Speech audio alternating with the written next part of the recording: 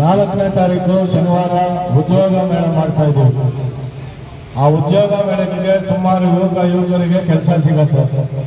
ನೂರರಿಂದ ನೂರ ಇಪ್ಪತ್ತೈದು ಕಂಪ್ನಿಗಳು ವಿವಿಧ ಕಂಪ್ನಿಗಳು ಆಕ್ಸ್ಫೋರ್ಡ್ ಸ್ಕೂಲಲ್ಲಿ ಮಾಡ್ತಾ ಇದ್ದೀವಿ.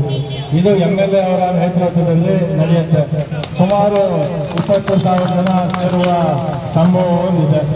ಅದರಲ್ಲಿ ಕೂಡಲೇ ಸ್ಪಾಟ್ ಅಲ್ಲಿ ನಾಲ್ಕರಿಂದ ಐದು ಸಾವಿರ ಕೆಲಸ ಉದ್ಯೋಗಗಳಿಗೆ ಸ್ಪಾಟ್ ಅಲ್ಲೇ ನೀಡುವಂಥದ್ದು ಕೂಡ ನಮ್ಮ ಎಂ ಎಲ್ ಎ ಅವರು ಮಾಡ್ತಾರೆ.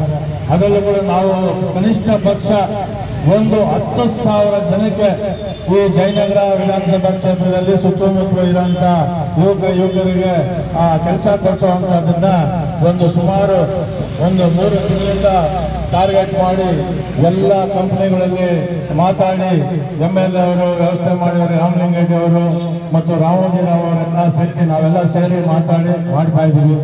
ತಾವೆಲ್ಲ ಬಂದು ದಯವಿಟ್ಟು ಈ ಉದ್ಯೋಗ ಸಿಗುವಂತಹದನ್ನ ನಿಮ್ಮ ಹತ್ತಿರಕ್ಕೆ ತಗೊಂಡ್ಬಂದಿದ್ದೀವಿ ಎಲ್ಲಿಗೆ ಜೆ ಪಿ ನಗರಕ್ಕೆ? ಆಕ್ಸ್ಫರ್ಡ್ ಸ್ಕೂಲಲ್ಲಿ ಮಾಡ್ತಾ ಇದ್ದೀವಿ. ಶನಿವಾರ ಬೆಳಿಗ್ಗೆ ಒಂಬತ್ತುವರೆಗೆ ಸ್ಟಾರ್ಟ್ ಆದ್ರೆ ಐದುವರೆವರೆಗೂ ಇರುತ್ತೆ.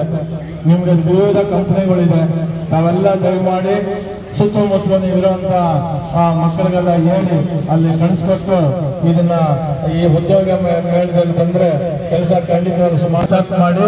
ನೀವು ಬಂದು ಒಂದು ಉದ್ಯೋಗ ಕೊಡಿಸೋದಕ್ಕೆ ಶನಿವಾರ ಮತ್ತೆ ಐದನೇ ತಾರೀಕು ಗಂಧದ ಗುಡಿ ಹಬ್ಬ ಅಂತ ನಾವು ಹಮ್ಮಿಕೊಂಡಿದ್ವಿ ಇಲ್ಲೇ ನಮ್ಮ ವಿಷ್ಣುವರ್ಧನ್ ಪಾರ್ಕ್ ಗೊತ್ತಿರ್ಬೋದು ಎಲ್ರಿಗೂ, ಕೋಟೆ ಬ್ಲಾಕ್ ಅದು ಮುಂದೆ ಒಂದು ಪಾರ್ಕಲ್ಲಿ. ಪರಿಸರದ ಬಗ್ಗೆ ನಿಮಗೂ ಗೊತ್ತಿದೆ. ಕಾಂಪೋಸ್ಟಿಂಗ್ ಇರ್ಬೋದು ಸೆಗ್ರಿಗೇಷನ್ ಇರ್ಬೋದು, ಆಮೇಲೆ ಒಂದು ಗಿಡ ನೀಡೋ ಕಾರ್ಯಕ್ರಮ ಇರ್ಬೋದು. ಬಹುಶಃ ಅಶ್ವಿನಿ ಪುನೀತ್ ರಾಜ್ಕುಮಾರ್ ಮೇಡಮ್ ಅವರು ಬರ್ಬೋದು. ಅದನ್ನು ದಯವಿಟ್ಟು ಎಲ್ಲರೂ ನೀವು ಸಹಕಾರ ನೀಡಬೇಕು ಅಂತ ನಾನು